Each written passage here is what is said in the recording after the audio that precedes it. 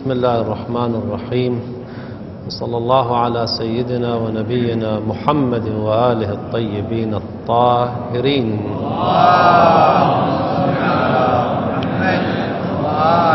السلام عليكم إخواني أخواتي جميعا ورحمة الله وبركاته. كثيرا ما نسمع هذه الأيام أن البعض يشتكي من تأثير عوامل غيبية في حياته. مرة الإنسان يعرف سببا واضحا لمشكلة هو يعيشها كالأمراض البدنية. هنالك أوجاع في الجسم منشأ هذه الأوجاع مرض معين فيبادر إلى علاجه. ولكن المشكلة عندما الإنسان لا يجد سببا واضحا لذلك. يرى تعقدا في الأمور بشكل غير طبيعي. يرى هما وغما ملازما لا سبب له. يراجع الأطباء فلا يعرفون سببا لمرضه لأوجاعه. هنا البعض يذهب يمينا وشمالا وهنالك في الواقع يعني توجهان في هذا المجال. التوجه الأول ما توجه سوء الظن بالغير هذه الأيام عوام الناس في أول تفسير لهذه الظاهرة يتهمون من يتهمون؟ يتهم الخادمة يتهم العدو أو العدوة. وهذه مسألة خطيرة. الإنسان حتى سوء الظن الباطني يعاتب عليه الإنسان. الآن قد لا نقول بأن ارتكب حراما ولكن لا شك الذي يعيش سوء الظن الباطني لابد أن يظهر في فلتات لسانه ولطالما عاقبنا من لا يستحق العقوبة هل لسوء الظن هذا؟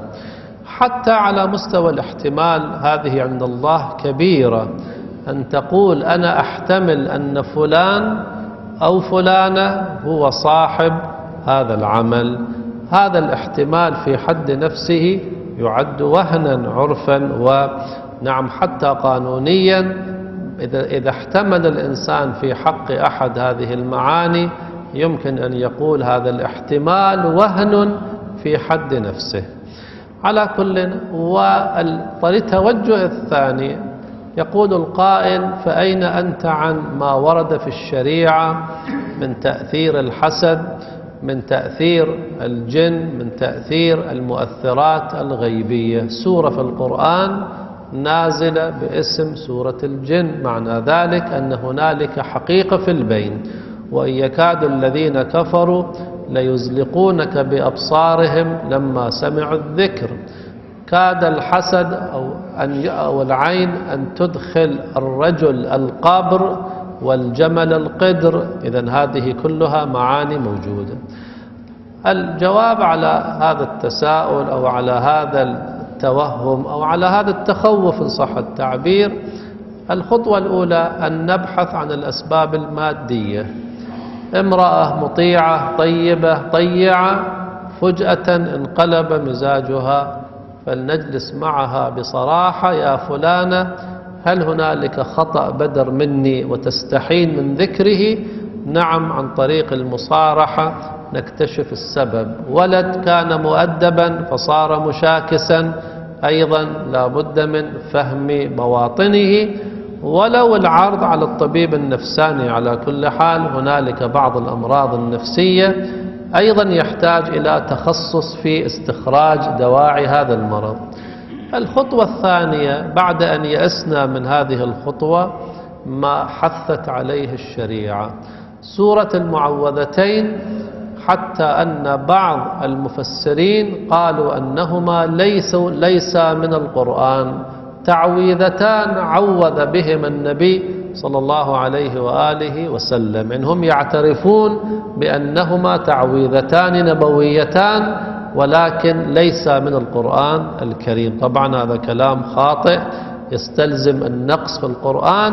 أقول في بال بعض المسلمين أن النبي فقط استعمل المعوذتين لدفع الضر عن من كان يحب وأنتم تعرفون كان النبي يعوذ الحسنين عليهم السلام بهذه السورة. فإذا من يخاف ضررا فعليه بالمعوذتين صباحا ومساء وبقصد الالتجاء الذي يقرأ المعوذتين تجربة. الذي يقرأ المعوذتين لقلقة من الطبيعي أن لا يحصل على النتيجة. قل أعوذ برب الناس ملك الناس إله الناس من شر الوسواس الخناس الذي يوسوس. الشيطان له أن يوسوس. والله عز وجل ليس له الحق أن يبطل ما يوسوس به الشيطان. هو أرأف بالناس وهو ناصية الشيطان بيده. فإذا من يقرأ المعوذتين باعتقاد وبيقين نعم يؤثر أثره ويضيف إلى ذلك آية الكرسي أيضا من آيات الحفظ والذي يقرأ آية الكرسي خمس مرات رب العالمين يتكفل حفظه بنفسه. صلى على محمد وآل محمد.